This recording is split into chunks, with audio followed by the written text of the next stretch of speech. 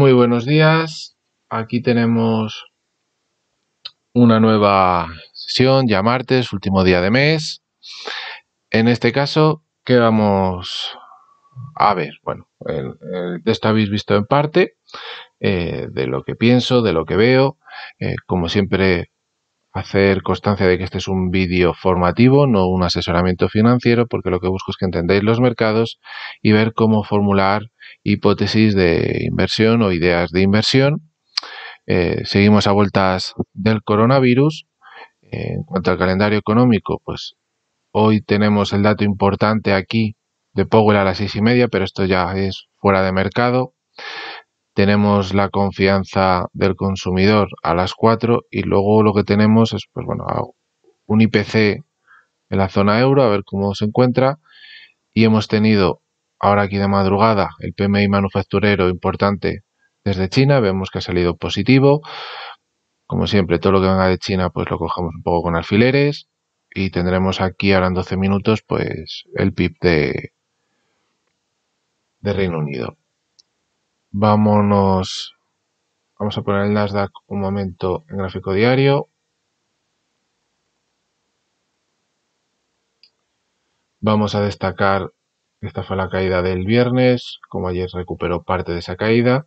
Si esto continúa subiendo hasta donde se podría ir, pues hombre, yo pienso que un número psicológico como son los 10.500 tendría que ser el objetivo. No digo que sea para hoy, ¿eh? sino un poco a lo largo de estos días o, o estas semanas, depende de cómo todo vaya. Pero bueno, quizás este 10.500 como número psicológico pues pueda ser importante. Bien, vamos al DAX, a diario,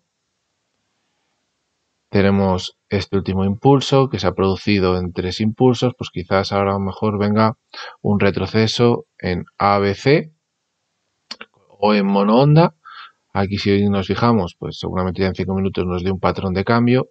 Eh, tenéis que entender la hora a la que estoy haciendo yo este vídeo, con lo cual, eh, a lo mejor cuando vosotros lo veáis, pues este momento, claro, ya ha pasado y aquí se ha ido para arriba. Pero bueno, y nos había dado una entrada.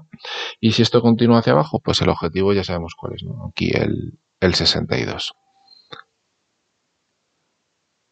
Para el euro, pues tenemos toda esta subida. Vimos que ayer lo pagaron en el 62, pues habría que ver aquí qué sucede en esta zona y si eso entrar alcista.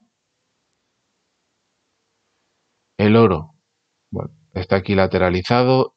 Yo no haría nada y esperaría a ver si se viene a estas zonas de por aquí y entonces ya sí que me pondría alcista.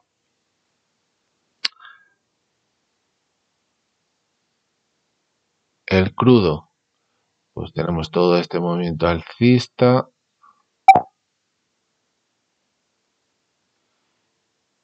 ¿Qué se podría ver?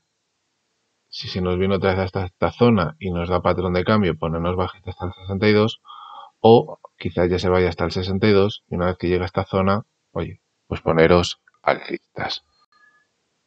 El Bitcoin, bueno, pues sigue más o menos igual. De todo este impulso, si queréis, busquéis aquí el 62 y os intentéis poner otra vez alcista.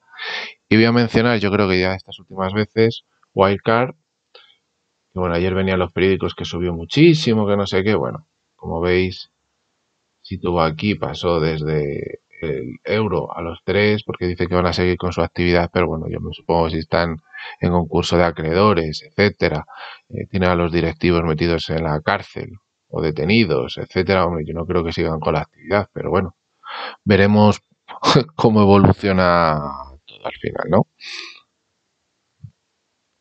Y nada, eh, hoy un día que tendremos las declaraciones de Powell por la tarde, que será lo que determine, eh, pero ya fuera de mercado, como he dicho. Espero que, os guste el vídeo. Eh, me podéis seguir en la página web o en las distintas redes sociales. Y luego tenéis aquí un correo o un teléfono donde os podéis poner en contacto conmigo pues para hacer, como siempre, aportaciones o preguntarme cualquier tema que consideréis oportuno. Espero que tengáis buena mañana de trading. Un saludo. The man, the man